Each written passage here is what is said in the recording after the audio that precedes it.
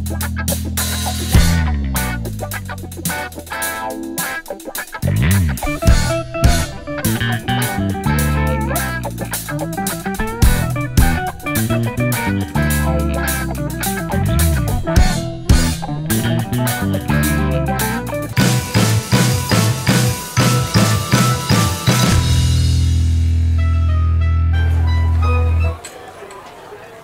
Hello, World Wide Web. Welcome back to the Hangin With Web Show. I'm GW Pomichter. Thank you so much for logging on and tuning in. If you haven't done it yet, go ahead and hit subscribe so you can see some fantastic. We have authors, artists, filmmakers, creators of all kinds here on the Hangin With Web Show. So don't forget to check out the description down below. We are here with author Richard Rosen as a Hangin with Web Show alumnus and has also got a brand new book out we're going to talk about today. It's Angelic Planetary Management. That's right, you heard me. Angelic Planetary Management. You don't know what that's about, do you? You have no idea, but we're going to tell you. So, Richard, thanks for hanging with us again. Ah, All right, thanks you for, for being here. me, Yes, sir. So let's talk Angelic Planetary Management. What am I looking at, man? what What is this exactly?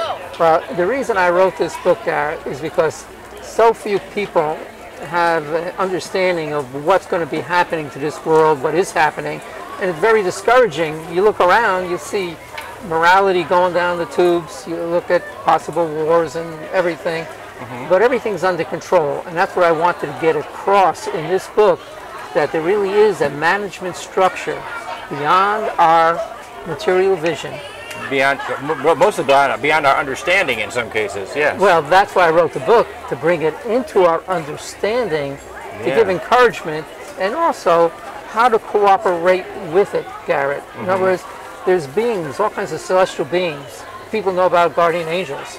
Well, they're Okay. very real. Each one of us has one, of course. But there are also uh, groups of angels assigned to different portions of civilization. For example, advances in health are not just by accident. They're actually directed and controlled by seraphic angels that are in charge of that. Someone, that means there's an angel in charge of this show who's going to make it go huge and millions of copies of books are going to get sold. I like your application. See? That's what I did there. Okay.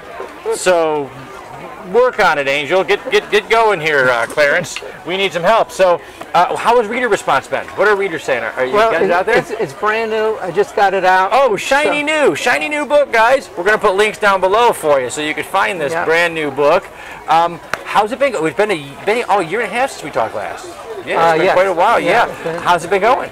Uh, very good, because all my books are on the same genre Uh-huh. of the reality beyond what we can see.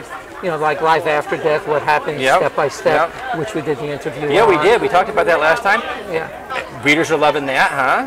They're coming and Uh, they're yeah, that's that's my most popular book Okay. because everyone is concerned about what happens when you die. Mm-hmm. And uh, generally, I have found people that have lost someone close to them.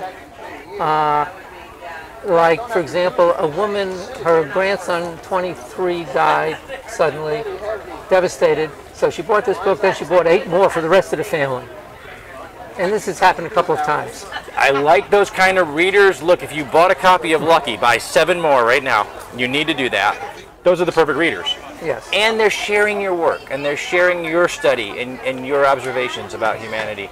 And maybe they're they're absorbing some of that, which is fantastic. They are absorbing it, and and uh, that's why I write the books because uh, I've been a student of what comes next and God's supervision over us and how that happens in very great detail.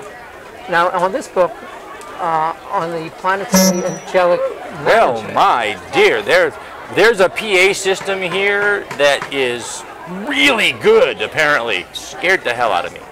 Uh, wow. So, okay. we'll come back to that. Yeah, no doubt.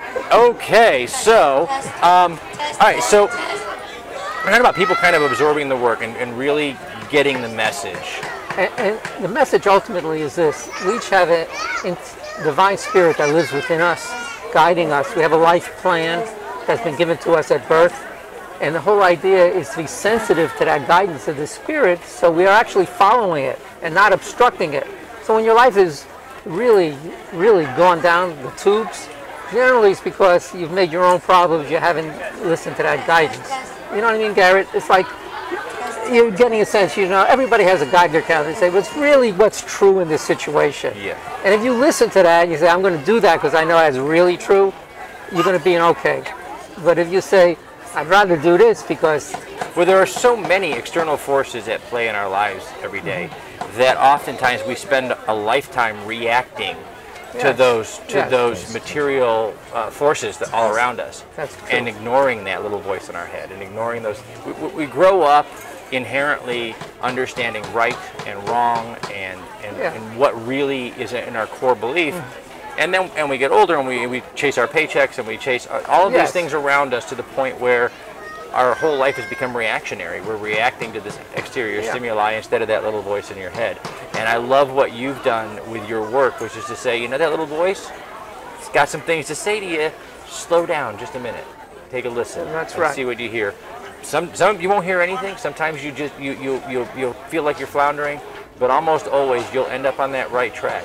And and and these are these are great ways to illustrate for people that that there is something beyond that physical stimuli that's coming at you every single day. That's well said. Uh, if I could, I'll give three very practical ways in making a decision on how to key in to that divine guidance. First is, what's your highest sense of what's true? We each, ha- we each have that, what I call the Geiger, truth Geiger counter. You kind of know, and you say, I know really what's true in this situation, and what I should do. The other thing is, what's the greatest good that I can do for the most people for the longest time. And that's great criteria because then you can't get away with fooling yourself. No, you can't. You can't. Can't be selfish. That's right. And the third is when you look back, you want to be able to say, was this the most beautiful thing I could have done in this situation? I like that. I like that. I really truly do because that's that's where we're coming from. That's we do get all that external stimuli that it comes at us 90 miles an hour. 90 miles an hour. Teachers and work friends and and you know between chasing our work and our things and we sometimes forget about that. The the concept of listening to the universe, listening to God, it's been around a long time. It really has. The, the Hindus call it the Akashic uh, record, where it's the knowledge of God that's just floating in the universe, Yeah. talking to you all the Correct. time. If you're listening, If you're listening. but if you're not listening, life can pile up on you in a hurry. It really can. You can get very confused and very lost. And this is this is a fantastic way to talk about this. This talks about the fact that that same voice that's in your head is actually running the world around you as well. If you if you could be, go with that flow instead of against it, you can do so much better. Yeah. That's fantastic. Um, this is beautiful cover art, by the way. Um, we're going to try to spin that up over here for everybody to see. Um, who did your cover design for this? I did. You did this fantastic. Artists are artists. we write it, we design it, you name it, we can get it done if you give us enough time. Uh, I'm looking forward to this read. This is going to be fantastic. Um, we are. Uh, we've expanded the show a little bit. Uh, when we last talked to you, we did an interview about four and a half, five minutes, remember? And, um, and we, we just stuck to the book. Well, one of the things that we realize is that people buy uh, from salesmen they know. So Yeah. they like to say, I know a guy, right? Yeah. So we want to get to know Richard a little bit, okay? So what I did, so we could have a little bit of fun, was I told the girls, go out to the World Wide Web. Find me goofy, weird, uh, those those crazy internet questions. I can ask Richard about, and then his real life answer Okay. will be the thing that people go, oh, that Richard, he's the guy that said that, right? So Sounds- sounds all good. Garrett. All right, so that's what we're going to try to do here. I'm going to look up. It's a double blind. I we pile the cards up, they shuffle them up. It's like getting a deck right. All right, there we go. Okay, well, we're talking about spirituality. We're talking about the divine. So, what would your spirit animal be? Wow. How would you compare yourself? What would your spirit What animal would I liken myself to be? Is that exactly, what you exactly, mean? yes. That little voice, that little voice that tells you right or wrong. Is it a tiger? Is it a bear? Is it a, is, is it a mouse? Is it a small voice? What kind of voice is it? It's a voice of such tender sweetness, loving kindness. So, like, It's the only guy ever that got Bambi as a voice for a spirit animal. Correct. That's fantastic. Yeah. I love it. Richard, that's fantastic. Good answer. I love that. So, all right, you know what? Um, your books deal a lot with acceptance and accepting the spiritual around you. And, um, but you know, when we don't accept, things frighten us awful bad. Mm-hmm. People are afraid of everything from clowns to the dark. What's Richard afraid of? Anything get inside your head a little bit and just kind of Actually, uh, at this stage of my life, nothing. There's nothing I'm afraid of that I'm aware of. see that's and that's what happens when you accept that that there's Correct. something more it's around a, you. It's a life lived because the whole focus for our life is to become spiritual beings and make that link up with the divine spirit within us and the father of everything.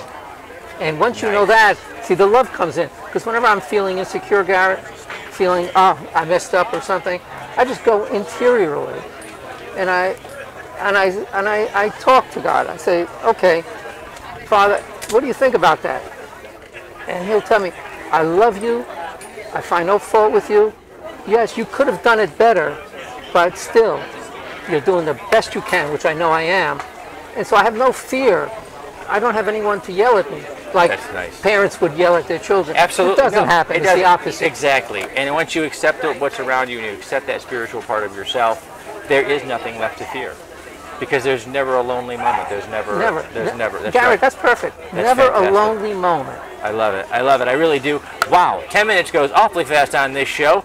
We have been hanging out here with Richard Rosen, the author of Angelic Planetary Management. There's some other great books that we've talked about in the past. We're going to throw all of these links down below. We're going to show you Richard's social media platform so you can go and stalk him, send him messages, ask him questions, all of those things. We're going to wrap it up by saying thank you, thank you, thank you so much to our partners and friends at Something Unique Magazine, Space Coast Comics, Wordfire Press, Famous Faces and Funnies, Off the Chain Radio with author Yvonne Mason, Heather Reed at the Asylum Convention Entertainment Services, and our great new friends over at the Brevard Renaissance Fair. We can't wait. We're going to see some amazing creative people out at the Renaissance Fair just in uh, January. Good. Um, eh, guys in costumes, actors, performers, Wow. guys that are really keeping our history alive. So that's going to be a fantastic event we can't wait to get to. I'm GW Pomichter, folks. We've been hanging with author Richard Rosen. Remember, subscribe, log on, tune in, and see who we're hanging with next.